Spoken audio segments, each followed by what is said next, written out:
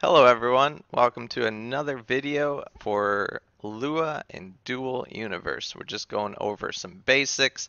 Today I'd like to look at some resources to help us figure out, you know, when you're trying to program something and you want to figure out what some different functions are, what are already in the default scripts, uh, what documentation there already is. So let's take a look at that. To start, we're going to look at some stuff in-game so let's go to a setup flight chair and press Control L.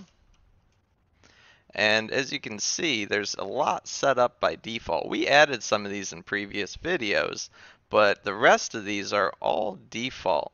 So you can actually go in and just poke around. You can see what these commands do, like what your down key actually controls, what your up key. Um, you know, I'm not going to go clicking through all of these right now, but there's some really great information that you're going to learn just by messing with the scripts in here. Um, check out the start filter.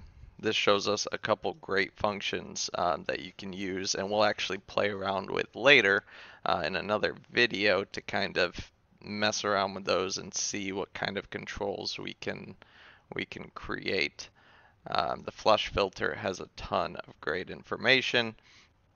Um, start, of course, we already just looked at that. Unit, uh, we created these two, but these two are the default ones. The start filter and unit is actually a lot of what you are seeing uh, in your default HUD.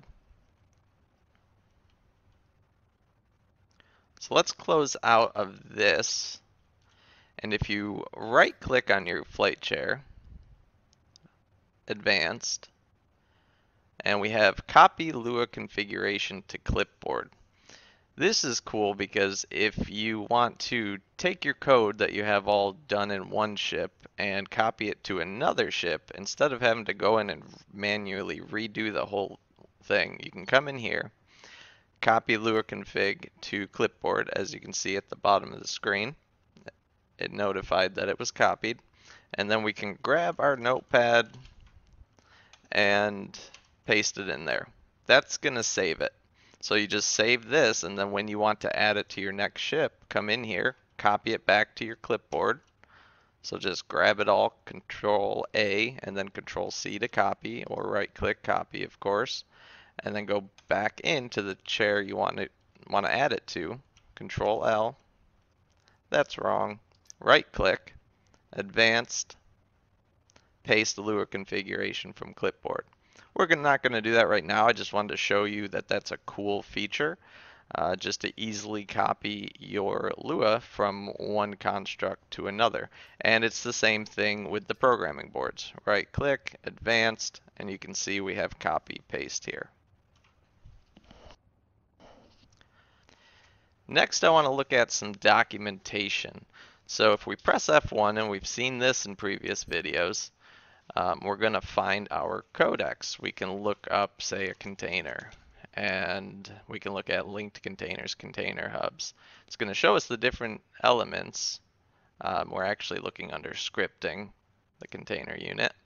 Um, it's going to show us different elements and what functions we're looking for with those, or what are already built in that we can use. So we could use the link name of the container dot get item mass that's going to give us the, well, it says right here, it's going to return the content uh, container content mass. We can also find this outside of the game. If you go to the game installation directory, uh, you'll find some, some more documentation that NQ has provided us, uh, or as included. So you can see here I have a custom folder so you have to look for wherever you installed your game. Might be program data or program files or documents uh, just depends on on where you're installing your default directory for the game. Um, but if we go in there to dual dual universe hit game documentation we'll find the web codex here so this is going to open up the same thing we're looking at in game but the web version. Um, and then if we go back over here, go back to game, data, Lua, this has some really cool documentation for us as well. not really going to go into all this right now. I just wanted to show you that it is here and you can work through it. Um, but if you open these up, you can open them up in Notepad or your favorite uh, code editor. This is just VS Code. Um, it'll show you there's there's a ton of different functions and variables and things already implemented in game that you can pull from. And we'll end up using some of that in later videos. I just wanted to show you guys that this was here. Awesome. So I hope you guys found this helpful and learned a thing or two. Uh, just start kind of digging through those resources, reading through them, and ask a lot of questions until until things start making sense. But I look forward to working with you guys again, and you guys fly safe.